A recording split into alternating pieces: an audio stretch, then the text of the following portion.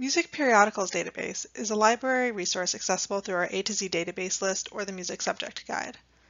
Unlike some of the other databases, Music Periodicals includes sources other than scholarly journals, such as music-related magazines, newspapers, and trade journals, so it's a great place to look for reviews, interviews, and news coverage, as well as scholarly information. If I want to find out about recent recomposition awards, I can use the filters to limit my search to articles published since 2018.